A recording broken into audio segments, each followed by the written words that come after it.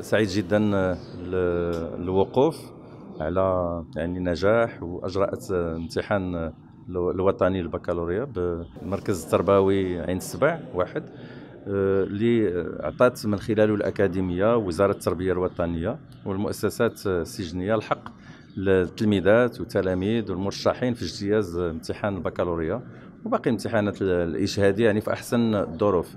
اليوم وقفنا على مدى يعني احترام معايير آه، هذا الاستحقاق اللي كتمر في, في أفضل الظروف بهذا المركز بحيث تم توفير 16 استاذه وأستاذ مراقبة الإجراء بمعدل استاذين لكل قسم 8 ديال الأقسام عندنا 129 مترشحه ومترشح منهم 8 ديال المترشحات إناث. وطبع هذا الاستحقاق يعني ارتياح كل المترشحات والمترشحين اللي يعني تمنوا هذه المبادرة وشكروا القائمين عليها بطبيعة الحال اللي غادي تمكن هاد المترشحين من اجتياز هذا الاستحقاق بطبيعة الحال في أحسن الظروف وتمكينهم من النجاح لأنه بالفعل كان واحد المجهود استثنائي اللي قاموا به المؤطرين في هذه المؤسسات التربوية. يعني بتوفير وتمكين كل المرشحين من من الدعم التربوي طيلة يعني الموسم الدراسي اللي غادي يمكنهم بطبيعة الحال من اجتياز هذا الاستحقاق في أحسن الظروف المناسبه لي باش نشكر القائمين على هذا الإجراء.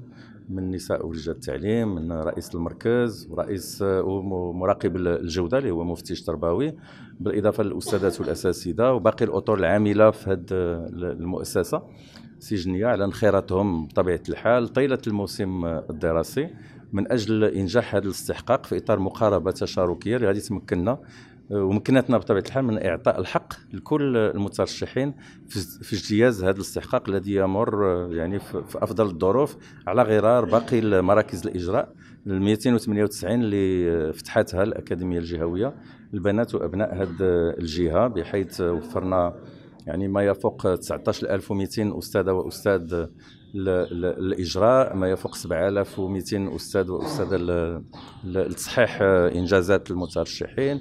هذا الموسم اعتمدنا كمستجدات ترميز إلكتروني اللي غادي يضمن بطبيعة الحال وغادي يأمن إنجازات المترشحات والمترشحين. ما غنبقاوش نسمعوا الأخطاء المادية اللي كانت ربما في السابق. اليوم الحمد لله باعتماد هذه الأجهزة الإلكترونية والتقنيات الحديثة غادي نمروا للسرعة للسرعة القصوى في, في, في تنزيل الجودة. بقطاع التعليم. كيف لاحظتوا معنا راه نفس ال نفس ال الطريقة القاعات اللي استقبلت المترشحات والمترشحين قاعات فسيحة آه، يمكن فيها تهوية كافية الحمد لله. كيف لاحظتوا التأمين ديال المواضيع والشيء الجميل هو يعني الانضباط. ديال المترشحين في هذه المؤسسة آه، بحيث لا آه، بطبيعة الحال ما كاينش أجهزة إلكترونية يستحيل إدخال أي جهاز إلكتروني بأي نوع منها يعني على صعيد كل المؤسسة يعني السجنية. كيف ما لاحظتوا معنا اليوم كاين آه، يعني انطلاق امتحانات خاصة بالبكالوريا انطلاق الامتحان الموحد اللي كيشمل فئتي الأحرار والمدرسين.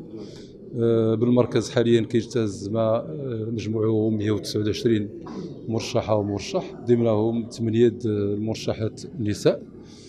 آه، الحمد لله الإجراءات كتمر في ظروف عادية. كيف ما شفتوا الامتحانات كتمر داخل المؤسسة السجنيه كباقي المؤسسات التعليمية التابعة للمديرية الإقليمية للنيابه التعليميه السبع الحي المحمدي. نفس الإجراءات نفس يعني الأمور التنظيمية.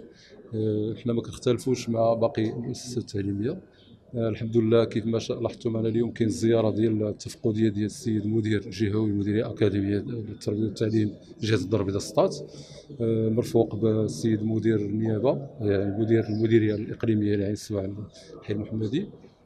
هذا كيزكي الامتحانات خص دوز في واحد الأمور اللي هي عادية وممتازة جدا. والحمد لله الإخوان حتى هما كيشاطروا لنا الفكرة وكيوقفوا معنا في مرحلة بمرحلة. الحمد لله الحدود الساعة ما سجلنا حتى حاله غش لأنه كما لاحظتوا معنا آه، في الأول كيخضعوا جميع النزلاء للتفتيش التفتيش الجسدي واليدوي ثم كيتم التفتيش ديالهم عبر البوابة الإلكترونية للتفتيش.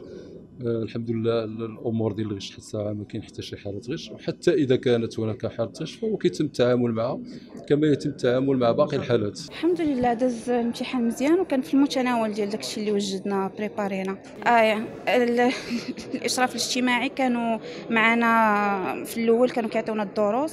كيحاولوا أننا حتى إلا ما فهمناش شي حاجة كيحاولوا يشوفوا لينا اللي إنه يساعدنا في الدروس اللي تنساو علينا حيت مدة طويلة هذه على الباك. والحمد لله داكشي اللي بريباريناه هو اللي لقينا. الحمد لله هاد الساعة كان كلشي في المتناول قرأت حتى حاجة جاتني صعيبة هاد الساعة. آه كنا موجدين مزيان. واحد ضروري إحنا آه وقع غلط وجينا للمؤسسة السجنية ولكن كنفكروا لقدام مازال نبنيو حياتنا من جديد.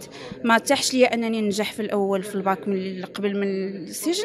وقلت علاش لا نبدأ ب- بدايه جديدة الحمد لله. تفكرت أيام المدرسة وتمنيت لو أنه من ذاك الوقت آه، استعدت مزيان والحمد لله.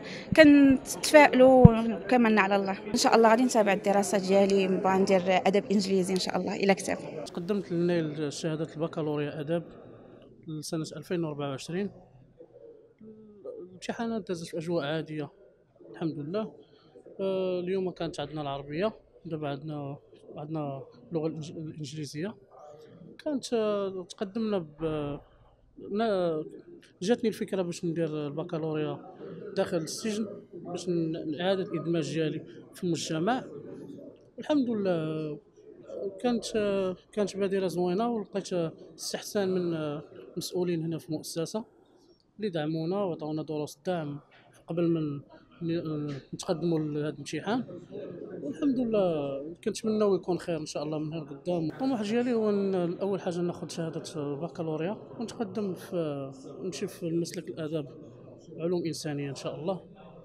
هذا هو المطموح ديالي الحالي إن شاء الله. ومن اعاده الإدماج ديالي في وسط المجتمع المغربي باش نكون إنسان صالح إن شاء الله من القدام. من تقدمت لشهادة البكالوريا تغيرت النفسيه ديالي داخل السجن وليت كنحس براسي ماشي كسجين كتلميذ كطالب. وحتى حتى المعاملة الحمد لله لقيت استحسان من من المشرف لا من المؤطرين هنا داخل المؤسسة. وعدا عن هذا كان راني كنمارس آه، آه، كنمارس التكوين المهني داخل المؤسسة الشعبة ديال رسم البناء. حتى هي غناخذ فيها إن شاء الله الدبلوم هاد السنة هذه وما غيكونش هاد السجن هذا اللي المدة اللي دوزتها في هاد المؤسسة مده سلبيه بل هي إيجابية اللي غن إن شاء الله نقدر غنيل فيها جوج جوج شواهد. واحدة إن شاء الله تقدر تكون في البكالوريا وواحده في في رسم البناء. التكوين المهني الرساله ديال النزلاء اللي ما ما عمرهم طاحت لهم الفكرة باش يتقدموا لش- لنيل شهاده البكالوريا. هي باش راه هي بادره زوينة وكتحس براسك أنك إنسان. ماشي سجين كتحس كتعطيك هذيك هذيك الروح كترد لك هذيك الروح ديالك داخل السجن.